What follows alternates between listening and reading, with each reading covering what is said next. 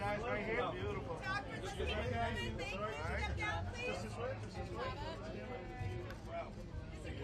Oh, tonight we're very thrilled um, to be here to celebrate this momentous occasion, nine decades.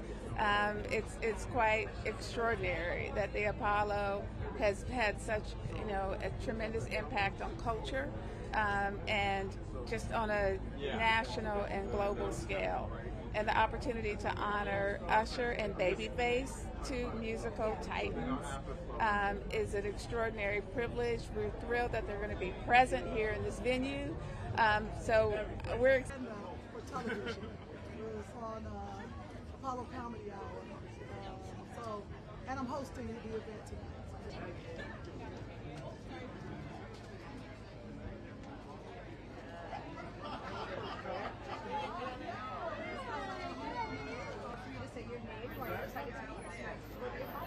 Hey guys, I'm Jordin Sparks, and I am so excited to be here because I think it's really important to celebrate our historical markers for our culture, for music, amazing things that we've done. Well, I mean, these are two music icons where this type of celebration is well deserved.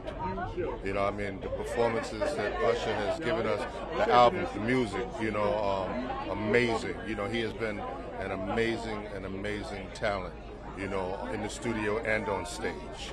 And Babyface is one of the greatest songwriters ever.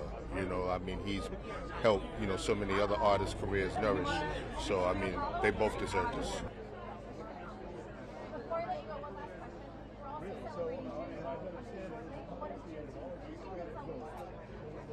It's stood by black entertainers from the get-go.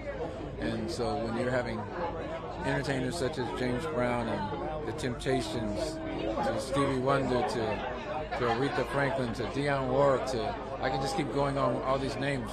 Names that I can tell you that my growing up, I never thought I would be included with those names. So it's an honor to actually be here and be included in that list.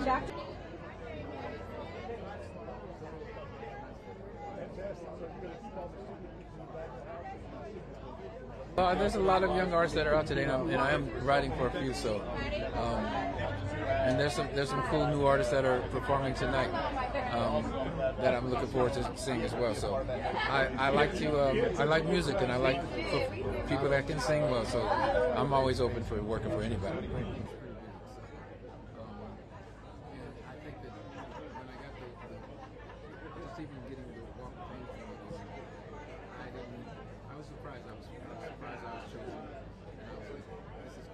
I think that um, they are accepted today. They're just said differently. Um, people say things in, in different ways. Love means something. Uh, you, you talk about love in a different kind of way. You talk about sex in a different kind of way. But it's still all about love and still all about sex. It's all the same thing.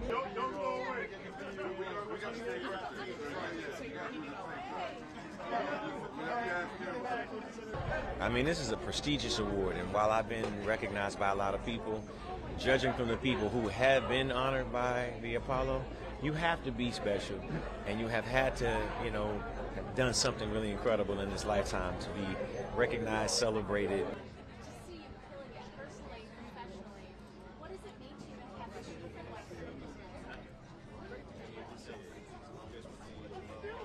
Man, make it an everyday thing. You know, every day I wake up feeling like, yo, this is this is supposed to be. I think you know when you act as though you're already in the future, eventually you will be.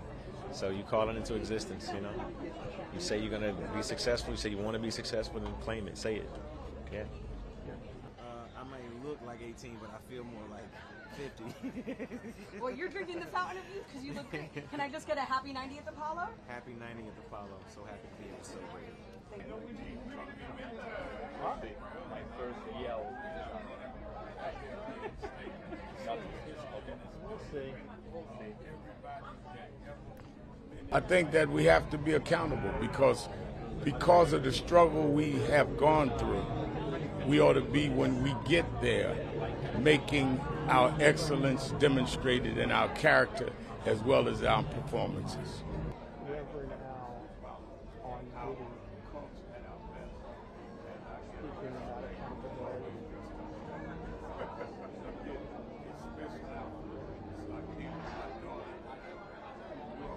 Yeah, check it.